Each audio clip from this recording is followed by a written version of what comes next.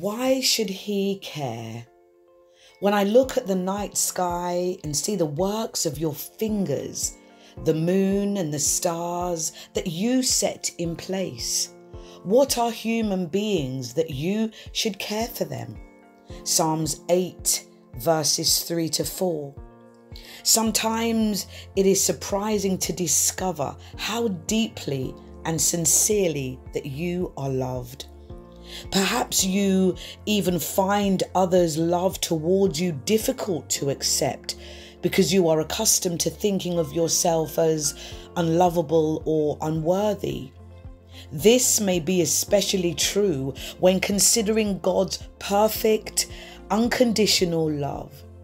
After all, He is majestic and holy, capable of creating the world and everything in it.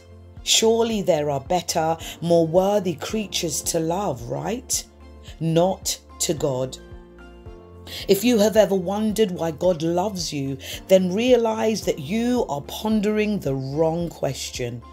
God's nature is love, and He created you for the glorious purpose of expressing His wonderful, unlimited care for you.